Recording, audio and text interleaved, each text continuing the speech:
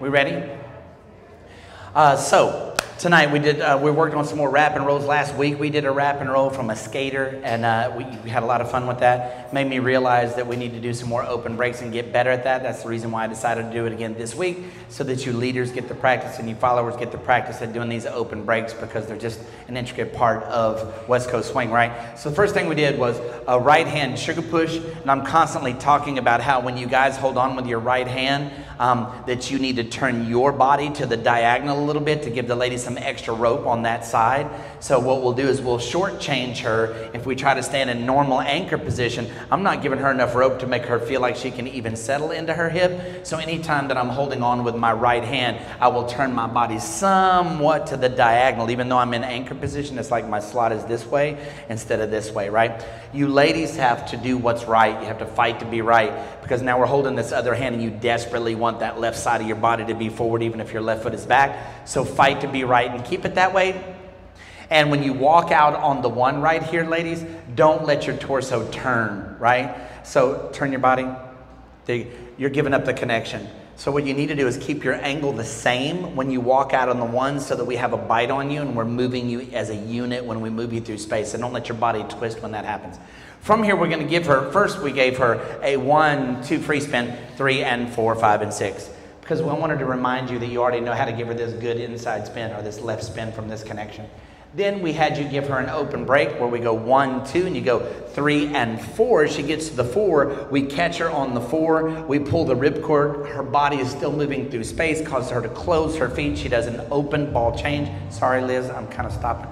So she goes, and six. And then from there, I don't need to pull her past me because her momentum is already going that direction. So I just give her a free spin off of that lead. So this goes one, two, three, and four. Pull, five and six spin, seven and eight, nine and 10. Beyond that, we then kept it and get went one, two, three, and four, five, and six. Keep it. We took her to a wrap. We could have just gone to a regular open break and given her a free spin out of that, which I encourage you to do from time to time when the music calls for it. But instead, we kept her here for seven and eight, and we pulled the rip cord, kept it short, but we went with her one and brought her back to the two, one and two.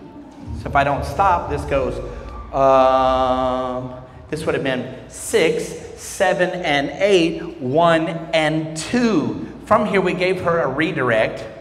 So what I'm going to do is I'm going to toss her from this hand to this hand, and I want her sideways for three, send her out turning left and four, and out five and six.